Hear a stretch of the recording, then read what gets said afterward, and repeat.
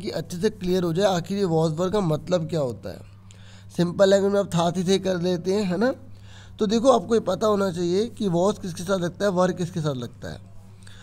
आई वास आई के साथ क्या लगता है? वास वी के साथ वर यू के साथ वर ही के साथ वास शी के साथ वॉस इट के साथ वॉस और दे के साथ वर लगता है। ठीक है? ये आप ध्यान रख लो इस रूल को।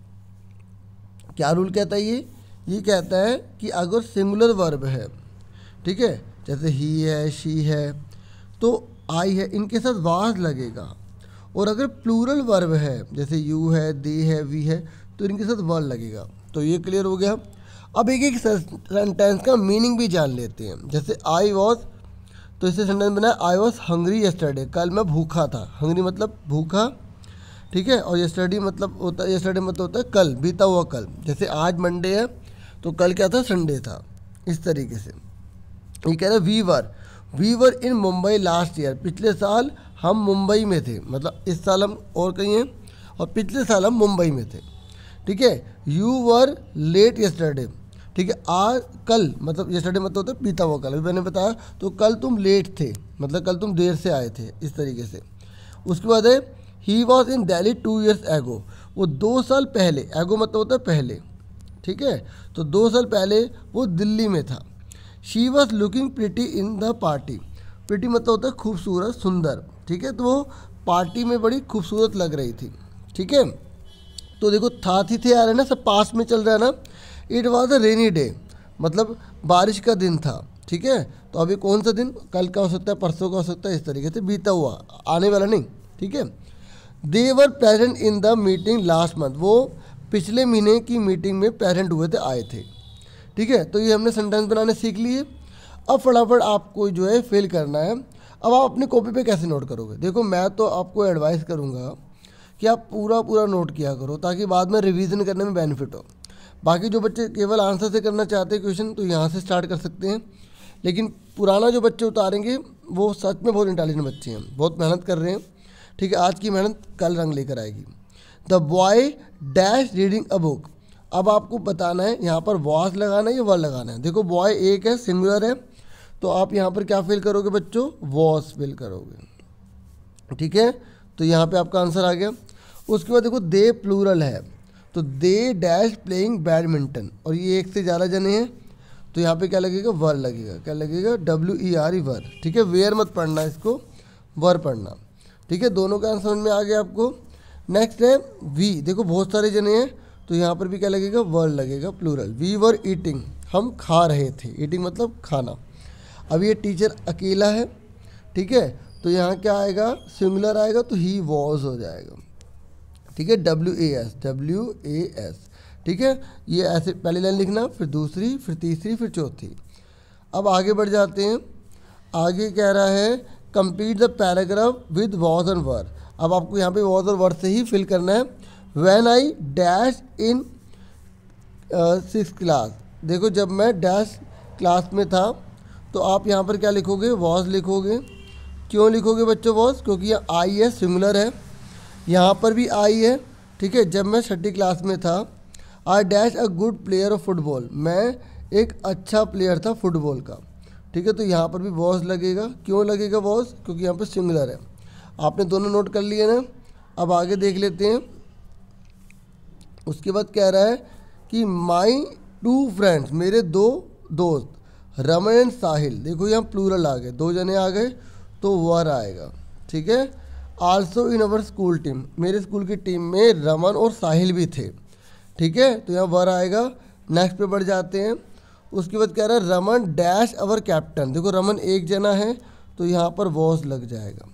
तो यहाँ पर भी वोस था, यहाँ पर भी वोस था, यहाँ पर वर था, ठीक है? और यहाँ क्या आएगा? वोज आएगा। और ठीक है, क्योंकि वो हमारे कैप्टन था, एक ही जना है, रमन। उसके बाद he dash a good cricketer तो देखो, यहाँ पर ही भी एक जना है सिंगुलर है। तो यहाँ पर भी वॉज़ आएगा। क्या आएगा? वॉज़ आवर टीचर यहाँ पर हमारा टीचर यहाँ पे एस नहीं लगा, एक टीचर ही है। आवर टीचर वास हमारे टीचर बहुत अच्छे थे वेरी गुड ठीक है, दे लगा है प्लूरल लगा है तो यहाँ पर भी क्या लगेगा? वर ही लगेगा। डब्ल्यू ई आर ई ठीक है? डब्ल्यू ई आर ई एक minute W E R E ठीक है? समझ में आ गया आप सबको? ठीक है, एक बार आपको मैं दोबारा से बता देता हूँ, ठीक है? और they dash very helpful also ठीक है? वो हमारे लिए काफ़ी हेल्पफुल थे। कौन? टीचर तो यहाँ पर आपको क्या लिखना है? वॉज़ लिखना है। ठीक है, यहाँ पर भी आपको वॉज़ लिखना है। यहाँ पे आपको वर्ड लिखना है क्योंकि प्लूरल है और यहाँ पर भी आपको वॉज़ ही लिखना है, यहाँ पर भी आपको वॉज़ लिखना है, यहाँ पर भी आपको वॉज़ लिखना है और यहाँ पर आपको वर्ड लिखना है क्योंकि प्लूरल है। अगर जो बच्चे समझ गए ना कि सिंगुलर प्लूरल क्या होता है तो उनको दिक्कत बिल्कुल नहीं आने वाली और अब तक समझ में भी आ गया होगा। आगे बढ़ते हैं। अब ये कह रहे हैं, देखो कुछ सेंटेंस आपको बनाने हैं। देखो तीन है वन टू और थ्री आपको पता होना चाहिए कि इनमें से किसके साथ क्या लगता है। बाकी आप कोई भी सेंटेंस बना सकते हैं, ठीक है? तो अब हम फटाफट सेंटेंस बना लेते हैं। तो यहाँ पे इन्होंने दो एग्ज़ाम्पल दे दिए। आई वॉज़ हैप्पी ठीक है? ऐसे एक और बना दिया इन्होंने। दे वर ब्रदर्स दे वर ब्रदर्स देखो जब प्लूरल है तो प्लूरल लेंगे। इस बात को ध्यान में रखना है आपको। अब आपसे पाँच सेंटेंस बनाने के लिए बोले गए हैं। तो मैं एक एक सेंटेंस आपको बताता हूँ। आप अपने आप भी ट्राई करना, ठीक है? तो पहला वाला जैसे हमने लिख आई वॉज़ अ स्टूडेंट ठीक है, मैं एक स्टूडेंट था. आई वॉज़ अ स्टूडेंट ये लॉजिक ज़्यादा ढूँढने की कोशिश मत करना कि भाई मैं स्टूडेंट तो अभी भी हूँ. ठीक है तो आपको केवल सेंटेंस बनाने हैं. लेकिन वो बिल्कुल सही होने चाहिए. ठीक है, समझ में आ गया? जैसे Sonu was in our class ठीक है तो आप दूसरे वाला आंसर क्या बना सकते हो? सोनू हमारी क्लास में था, ठीक है? तो इसी में से देख के बताने में आपको ऐसे करता हूँ, इसी में कर देता हूँ। जैसे हमने ही लिखा, ही के बाद हमने वास लगाया, ही वास आपने लिख दिया, a teacher, he was a teacher, वह एक टीचर था, ठीक है? ऐसे आपने शी से लिखा, शी, क्योंकि देखो शी सिंगुलर है तो सिंगुलर के साथ सिंगुलर आएगा। शी के साथ क्या लगाओगे? वाज लगाओगे। शी वाज ठीक है? आप लिख दोगे हंगरी, शी वाज हंगरी वह भूखी थी। ठीक है? तो या, यू आ गया, यू के साथ क्या लगता है? वर। क्या लगता है? यू के साथ वर। You were happy. तुम खुश थे। ठीक है? आप कुछ भी बना सकते हो, लेकिन आपको इतना ध्यान रखना है कि वो वैलिड होने चाहिए। ठीक है? जैसे और बता देते हैं। जैसे हमने लिखा वी वी के साथ क्या लगेगा? वर लगेगा। ठीक है? वी के साथ क्या लगेगा? वर। उसके बाद हम लिख सकते हैं वी वर हैप्पी लिख सकते हैं। ठीक है? ऐसे हम लिख सकते हैं we were in our class हम अपने क्लास में थे, ठीक है? इस तरीके से मैंने बहुत सारे सेंटेंस बना दिए। आप एक बार दोबारा से सारे देख लो, सुन लो। जैसे आप बना सकते हैं आई वाज अ टीचर ठीक है? एक हो गया। दूसरा, आप बना सकते हैं ही वाज अ स्टूडेंट ठीक है? दो हो गए। उसके बाद यू यू के साथ आप वर लगाएँगे। You were in our class तुम हमारी क्लास में थे, ठीक है? इस तरीके से तीन हो गए। उसके बाद आगे लिख सकते हैं दे वर ब्रदर्स ठीक है? वे भाई थे, ठीक है? अच्छा ये तो ऑलरेडी बनाया हुआ है, ठीक है? तो आप फिर यहाँ पे लिख देना दे वर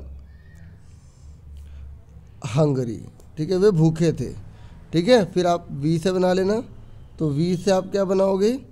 वी वर ब्रदर्स, क्योंकि दे से बना वी से नहीं बना तो वी से हमने लगा दिया। ठीक है? उसके बाद सोनू का देख लीजिए। सोनू वाज हैप्पी ठीक है? इस तरीके से आपको पाँच सेंटेंस बनाने हैं, कोई से भी मैंने दो तीन बार आपको अच्छे से समझा दिया ताकि आपको किसी प्रकार की कोई दिक्कत ना हो। ठीक है? बाकी मैंने डिस्क्रिप्शन में भी इसकी मैं स्टेटमेंट लिख दूँगा लाइन लिख दूँगा, ताकि आपको उतारने में दिक्कत ना हो। लेकिन आप खुद करोगे तो ज़्यादा अच्छा रहेगा। आज के लिए इतना ही बहुत था। अपना पूरा पूरा ध्यान रखना, आप ही इस देश का भविष्य हैं। ठीक है? Thank you for watching and listening carefully take yourself dear students